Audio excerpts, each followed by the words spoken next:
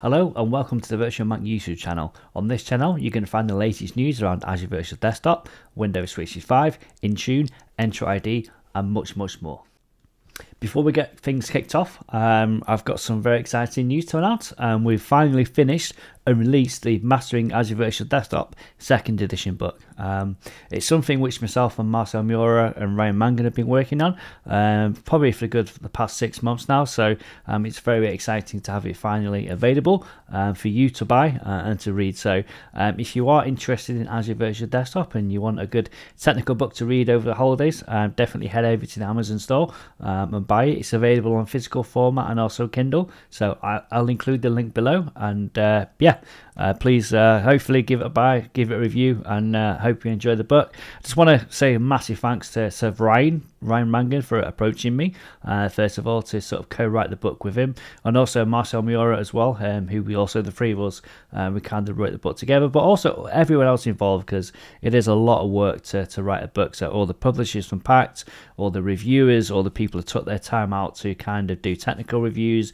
do secondary reviews. So, I can't shout out everyone because there's so many people involved, but uh, you know who you are. Uh, but yeah, massive thanks to everyone involved, and uh, yeah, hopefully give it a read and maybe there'll be more in future. Who knows? Today, um, it's going to be a quick video today because I spent the last week in the US and I'm pretty tired. Um, I've got a bit of jet lag. So um, today I'm going to talk about the new Windows app. Um, so it was originally called the, the, the Azure Virtual Desktop app or the Windows 365 app, and uh, Microsoft will be going to GA soon with it, and it's actually now going to be called the Windows app right? So uh, the Windows app is basically replacing the uh, Azure Virtual Desktop app and, and the Windows 365 app, um, and it will be one single app where you can connect to, to multiple uh, different types of environments with. So uh, you'll be able to connect to your Windows 365 desktop, you'll be able to connect to your Azure Virtual Desktop, you'll be able to connect to your RDP connections, whatever. Um, so um, the good thing is the GUI looks a lot better,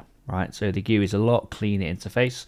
Um, the one thing which really matters is I'd say user experience, right? So um, those initial kind of first impressions when you are connecting to a desktop or when your end users are launching for the first time, first impressions matter. Um, and I would say that the Windows app is a lot nicer looking than the original um, sort of remote app. So the, the original remote app was around for quite a while um, and it, it, it, was looking a bit dated. Um, so this new Windows app looks a lot nicer, a lot cleaner. So um, hopefully it will lead to a much nicer um, experience for the users.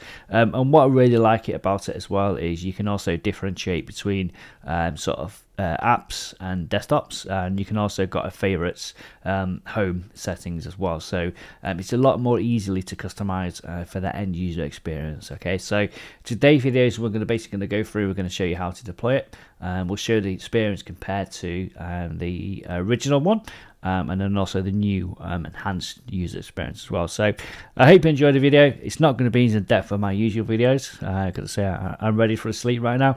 Um, but yeah, I hope you enjoy it, and uh, I'll see you next week. Okay, okay, so let's now have a look and see how we actually deploy um, the Windows app. So the Windows app is now a store app, right? So the previous um, remote desktop client was actually an MSI app. So this one is a store app, which will mean it's probably an MSIX application, right? So um, obviously you can deploy MSIX applications. So we could deploy it via um, Intune, um, or you could publish it um, to do it to your own internal um, store, um, or you could instruct users to install it from the, the Windows Store as well, um, because it actually um, is installable um, as a user. So let's go and have a look and see how we would do that. Okay, so I'm just going to head over uh, to the Windows Store. So here you can see I've got my Windows Store. So in here, I'm just going to search for Windows app, right? So if we go down to Windows APP, um, and then we'll see this one here with the nice uh, Windows icon. So I just click on that and now I've already got installed. Um, obviously, um, obviously normally if you didn't have it installed you'd see an install button there. Um, but that's how simple it is for, to deploy that all right? So and then you'll, you'll see everything that you've in here.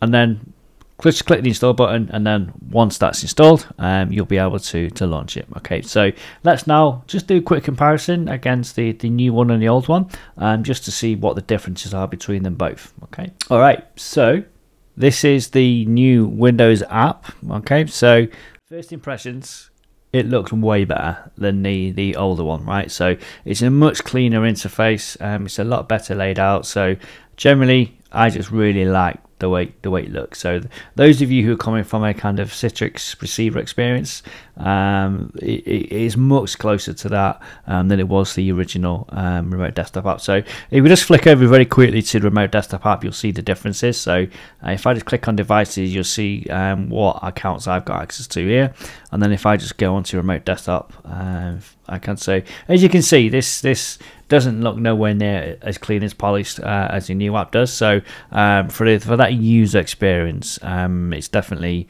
definitely a lot nicer. Okay, so um, if I go into here now, obviously I can see which which desktops I've got access to. It's telling me like which is my Windows 365 desktops, and it's telling me uh, which is my like Azure Virtual Desktop sessions as well. And shortly, I'm just going to add some applications in there as well, so um, you'll be able to see what that looks like. But the good thing is as well, we can now like pin device, pin uh, certain devices and stuff. So if I can go to here, so if I go to, for example, if I go to inside a Multi, uh, pin to pin to home. Okay, so if I select that, what it means that I can now go into there, and then that will be available um, in my home icon. And then if I go to this one as well, so I'm going to add my Windows 365 desktop in there as well. So ping to home, and I can pick that as well. So go back to my home, and then there you go. Um, it's in there as well. So I've actually just noticed we've got this ping to taskbar as well. So uh, do you get on the desktop? So let's have a quick look. So pin to, no you don't. So for your Windows 365 desktops, it looks like what we can do is we can pin to pin to taskbar. All right, okay. Ah, oh, maybe not failed. Okay, you don't see that, but I can see a little error message. Um, so uh, not sure what that is, but we can look at that another time. Um, yeah, so we can now go on here and we can launch um, our desktops if you want to. So let's see what that launch experience is like. Um, see if it's any different from there from the previous version. I'm going to first of all connect to my Azure Virtual Desktop session. So I've got a disconnected state, right? So in here, um, I can say I can configure the display settings pretty much as we could do um, with the old client. So I'm just going to go starting full screen on fit session to window. Yeah, okay. And we're going to go to a single display. Okay, so if I go to inside the multi, click connect. That's connecting through. So I've got disconnected session. So it should take me straight through um, into that session. Okay, so there we are. So yeah, taking me straight through to my disconnected session. So uh, this is me logged on. So again, all the connection bars and stuff, um, they're exactly the same as the old client. It just seems to be the initial um, sort of connection menus and stuff that you get the same. But as you can see here, I'm connected to my desktop with a now nice 9 millisecond round trip time and infringing the 46 megabits available bandwidth. So quite impressive. Okay, so I'm going to just disconnect from that session um, and then we'll just connect to the Windows 365 session.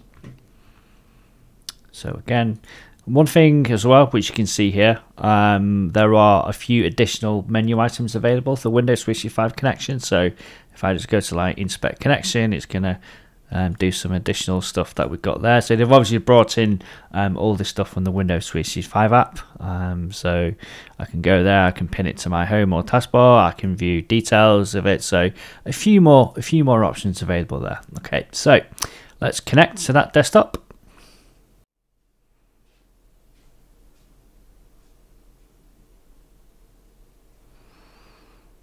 Okay, and there we go. So, yep, so we're now connected um, onto that desktop session. Okay, so again, quite similar experience um, to, to the older client. So just gonna disconnect from there. Disconnect. Okay. Good. So that's how we launch the, the desktop sessions. Um, and that's how we can connect to our, our sort of published desktops uh, from within there and also our uh, sort of cloud PCs. And as I mentioned, we've got those additional uh, menu items uh, for those cloud PCs. So, for example, um, if I click on inspect connection, um, I can go on there and say, yeah, I want to collect the inspect connection. It's going to go away um, and inspect that connection for me. And we'll come back in a few minutes and see um, see what that says. Okay, so the other feature that I just wanted to show you was um, when you have remote apps available, um, it actually shows you um, a different screen. So you can see instead of just going to devices, I've now got to go to apps as well, right? So um, if we click on go to apps icon, that's actually going to show me again my applications in a much nicer format. So um, if we just flick to the other the older client, so originally obviously um, we had everything under one single workspace where it was quite difficult to differentiate between my uh, sort of desktops and my applications. Um, whereas in the new interface, um, it's a much easier layout to read. Um, so if we go to devices, I can see which which devices are there. And if you go to apps, I can see uh, which applications are there as well. So much, much cleaner interface um, to read that from.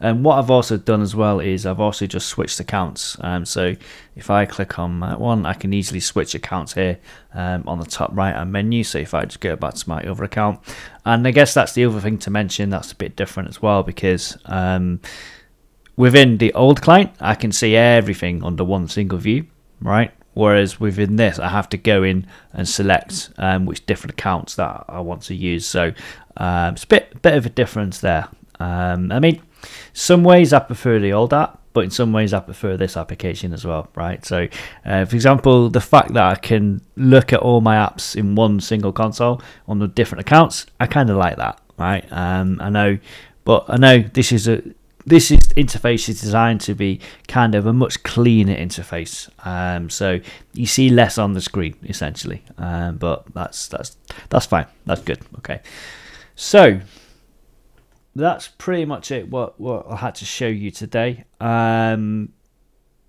yeah, as I, in summary, I guess as I was saying, some ways I prefer the old one, some ways I prefer the new one. Um, I think functionality wise the new one seems to be a bit snappier, um, whereas the older one, yeah. So that that's all I had to show you today. Um, I hope you found it useful. Um, so I guess in summary, um, the new interface looks really clean. It looks really good right? So if I was an end user, I'd much prefer using the new interface. It's it's good to have the additional Windows 365 capabilities um, integrated into that as well. Um, it's a one solution for all your cloud PCs, obviously, all your Azure Virtual Desktops, or your Windows 365 desktops, or your or your DevBox. So this is going to be the one client um, which does which does everything essentially. So most of the functionality seems seems to be there. Um, it's going to take a bit of getting used to for some people who are used to using the older client. Um, but I think if I was a user, as an end user device, using this, I'd much, much more prefer uh, the new client. Okay, so I hope you found it useful. Um, please like and subscribe for future videos like this, and I will see you next week. Thank you. Goodbye.